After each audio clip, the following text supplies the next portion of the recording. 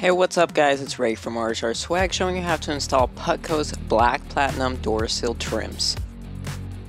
What's included in the box you will receive is two front door sills with licensed logos on them, two rear door sills, and one instruction manual.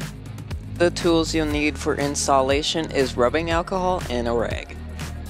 The first step is pouring rubbing alcohol on the rag and cleaning your installation area to ensure the door sill trim adheres to your truck. Let air dry.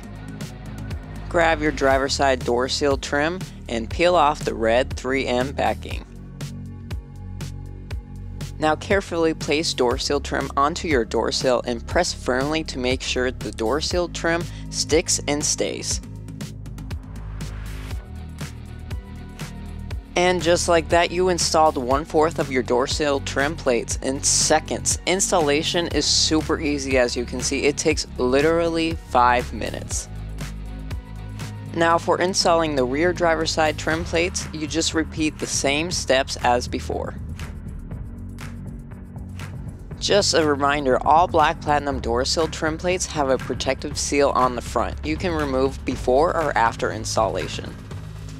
Would you just look at that beautiful black platinum finish? And don't worry, these door seals stay this beautiful forever because they are made of T304 stainless steel. Repeat the same steps for your passenger front and rear door sills and make sure you do not step on or move the door seal trim for 24 hours to ensure trim plates adheres to your truck.